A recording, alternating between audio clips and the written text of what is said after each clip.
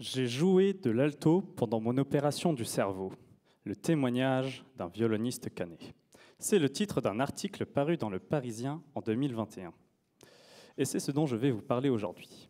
Cette opération, c'est la neurochirurgie éveillée. Plus précisément, je vais vous parler d'apprentissage profond appliqué à la neurochirurgie éveillée. Pourquoi éveillé L'objectif est de retirer la tumeur du cerveau d'un patient tout en conservant les fonctions essentielles de celui-ci comme le langage ou la motricité. Alors comment on procède? Le chirurgien stimule électriquement le cerveau du patient pendant que celui-ci réalise des tests, comme la lecture ou le mouvement des bras.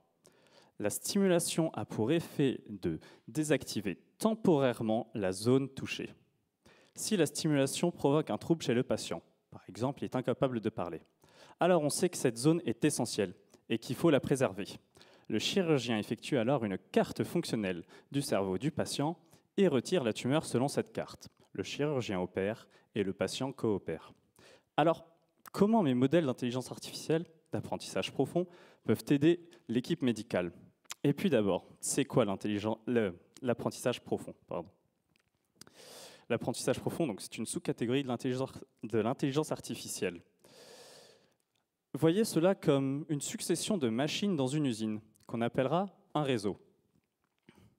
On a de la matière première, la donnée, et on veut un produit fini, la prédiction.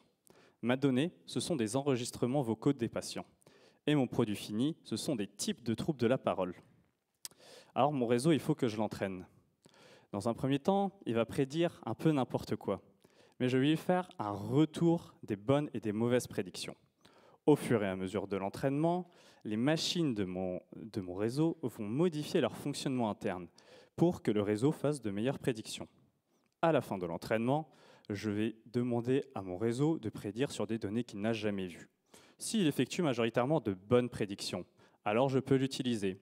Sinon, je vais le modifier, retirer des machines, en ajouter, en remplacer, jusqu'à obtenir des résultats satisfaisants. Alors, L'objectif de ma thèse, c'est de développer le meilleur modèle possible, celui qui permet de détecter au mieux ces troubles lors de l'opération. Cela permettra de réaliser une meilleure carte fonctionnelle, donc de maximiser le retrait de la tumeur et de, minimiser les troubles du patient à la suite de l'opération. Cela permettra aussi de détecter éventuellement ce qui a pu échapper à la vigilance de l'équipe médicale, car L'être humain n'est pas parfait, mais la machine non plus. C'est leur collaboration qui permet de donner les meilleurs résultats. Merci.